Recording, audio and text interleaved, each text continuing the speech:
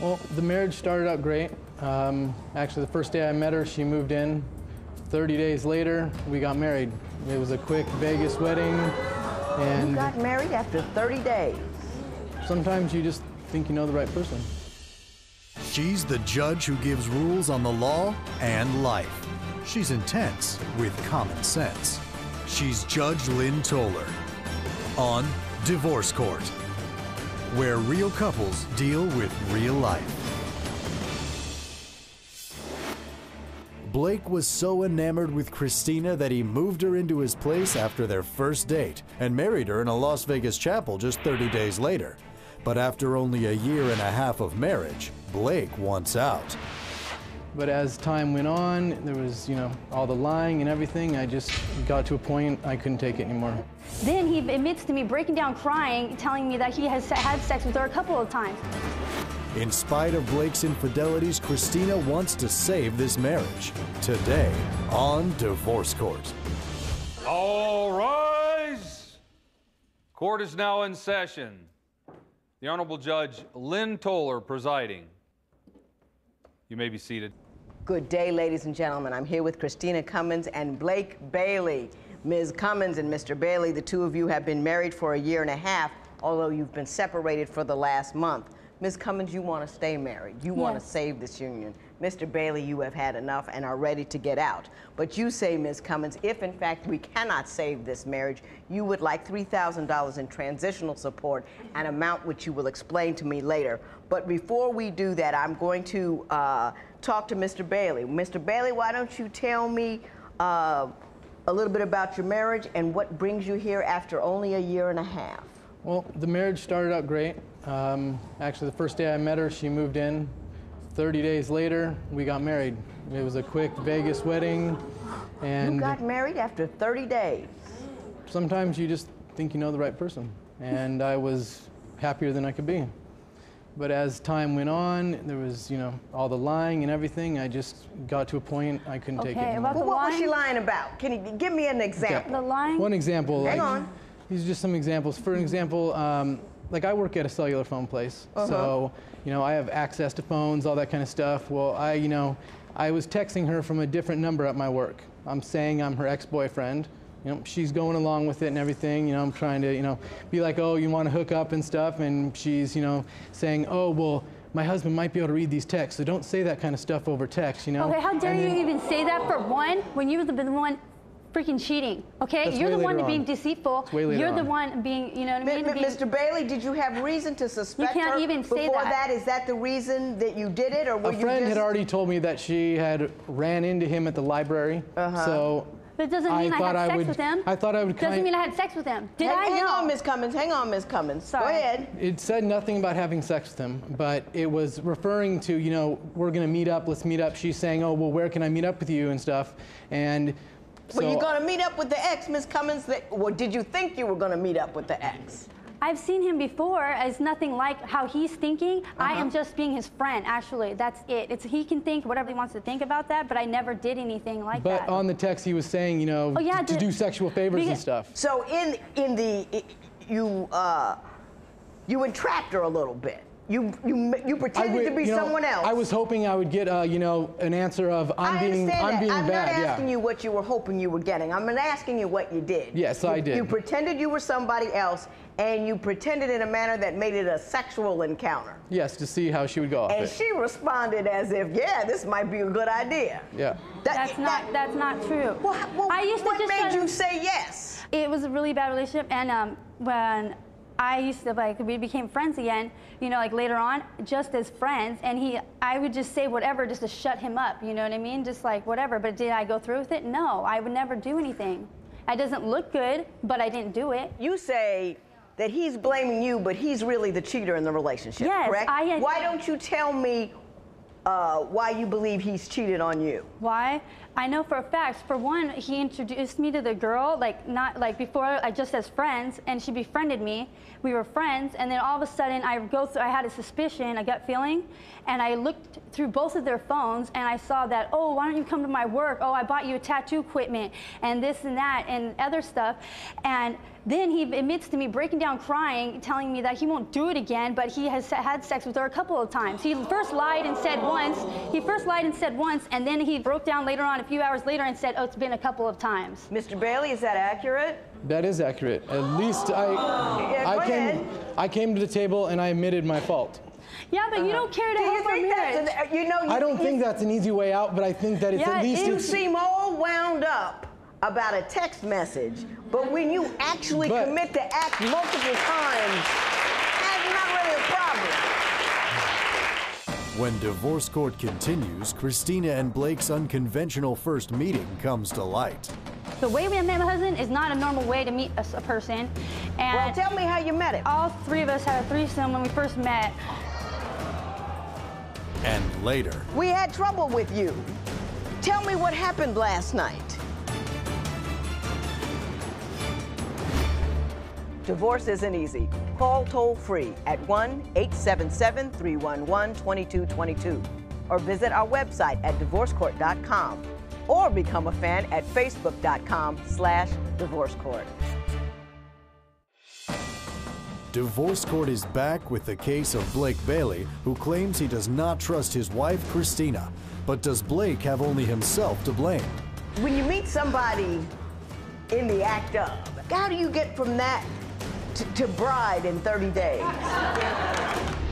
Mr. Bailey, I'm sorry. frankly, I didn't think we were going to be here today because uh, we had a little trouble with you. Uh, did we not? Last night? Oh, yeah, last night was lovely. You don't seem to have good judgment, Mr. Bailey. Yeah. Would, would you agree with that? at my times. It- it- you know, this morning you didn't know what state you were in. No. He was, he, We was, had trouble with you. He was so dr- Tell he- me what happened last night. Yeah. He was uh, really plastered. We went back to my hotel room, had sex, and then um, and then he was just really messed up. He, I was so freaked out. I was starting to scream and everything. My hands were shaking, and I'm crying because I thought he was choking on his own tongue. You know, so I Because was, he was unconscious? Yes, he was like making the weirdest noises ever, and I was freaked out. I can't even get through his own phone because there's a security code. I'm tripping out. And then this morning when we come here, I try to give him coffee, feed him. I'm holding him. He's cold. Like I wouldn't do that if I didn't love him. You know, like I love him so much. that it kills me that he doesn't want to be with like he pushes me away and doesn't want to be with me like i'm not a bad person okay i'm not perfect but you don't need to i don't deserve for you to do this to me i know you deep down inside you love me and but you need to act right You know, she had a guy over at my house when I'm at work that, like, I specifically told her this guy is not allowed at my house. And she secretly he, has him over. he came over and told me that he came over and talked to me and it was nothing sexual he, he's the one that told me that and you then had a threesome with him and and his then you- girlfriend You left. so shut up If you knew he didn't like this guy, you knew, hey, don't don't let him come over here. Why would you let him? he brought a chick with him it wasn't So, just him by he himself He didn't have any caveats. He I didn't know, say he he, was- can't come over unless he's got a chick with but him. you're the one- you're the Mr. one that Mr. said he likes Bailey, Mr. threesomes. Bailey, please. I'm advocating your case at this point in time. Why would you do it if you knew it was a problem with him? He came over to talk to me. I assumed he was my okay because I met him before I met my husband. The way we met my husband is not a normal way to meet a person. And well, tell me how you met him. all three of us had a threesome when we first met. No, no, no. We were Come on, uh, arranged. we were all hanging out. arranged to, but they just ended up doing it on my bed, not me. Okay, well you were part of it. Whatever. when you meet somebody in the act of, I mean, and the first way that you see them is, is having sex with somebody else, how, how do you get from that to, to bride in 30 days? I mean, and I'm serious. I'm not being facetious. I want to know what happened. Um, you know, I loved her. She had a good heart. She was sweet. You know, we had good times together. It, Were you Yeah, guys I- drinking a lot? no, No. No, you, you, everybody was sober. Yeah, we, we, we were legitly happy. You, know? You were legitimately happy. You know, you can be legitimately happy with Attila the Hun for 30 days. I mean, you know, 30 days, anybody can put on a put on a good show for 30 days. You That's know. what I felt like. I mean, because you know, anytime you know me and her try i try to talk to her about something that's bothering me like these different things maybe i am assuming maybe i'm not but i confront her about it and instead of like you know talking to me civil and trying to work it out she either you know raises her voice at me uh, and or starts crying and makes me feel bad and i just end up saying you know drop Forget it it. You- i drop it because i can't deal with her you, You, know do the exact sporadicness. same thing when I bring up stuff Ms. to Cummins, you. you haven't talked to me yet. The whole I'm so- proceeding. I'm so do- sorry, ma'am. Do you understand what he's telling No, you yes, about I the do. difficulties in communication? And I have changed Will them. you? Will you? How have you changed? I don't try. I don't scream at him. I don't like you know. Try. I try to like let him talk. Sometimes yes, I do cut him off. Call but, names. uh, But he has no room to talk when I talk Do about. you listen? Yes, I do. I don't believe you. Well, I'm because, because because you haven't listened to me yet. To in order to listen to someone, you can't be speaking while they're speaking because not only are you not hearing what they're currently saying, but that lets me know that even the first part when you weren't speaking, you were thinking about what you were going to say. No, mm-hmm. don't no, that's just logic. When divorce court continues, Judge Lynn asks the million dollar question. Mr. Bailey, do you love her or don't you?